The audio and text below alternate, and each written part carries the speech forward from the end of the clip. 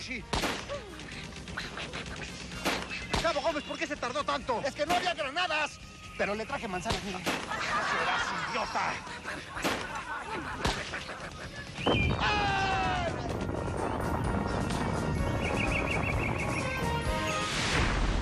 Y bien, hemos llegado a la última sala del museo, en la que podemos apreciar uno de los animales más respetados de la naturaleza, el águila. En primer término, la gallardía del águila calva, símbolo de los Estados Unidos de América.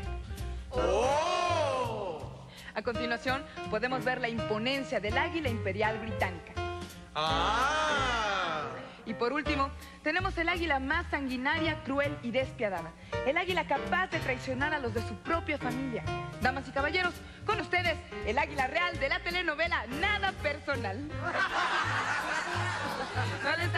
avance, por favor. Mucho ojo, Camila.